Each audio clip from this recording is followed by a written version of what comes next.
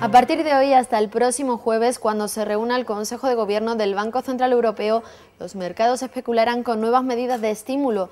La mayoría de los analistas, no obstante, no descuentan estas medidas hasta junio, una vez pasadas las elecciones europeas. No obstante, desde el Insecurities ven bastante predisposición entre los miembros del BCE a adoptarlas, por lo que podríamos ver un adelantamiento en su implementación. Apuntan que si los mercados comienzan a decontar esta posibilidad, podríamos asistir en los próximos días a una pequeña reacción alcista siempre y cuando la situación en Ucrania no se recrudezca. En este sentido, el presidente de Estados Unidos, Barack Obama, viaja hoy hasta Bruselas para reunirse con los miembros de la OTAN y de la Comisión Europea para analizar esta crisis entre Ucrania y Rusia. Dicen desde el Insecurities que de no producirse declaraciones amenazantes contra Moscú, los mercados europeos podrían mantener el buen tono durante el resto de la sesión.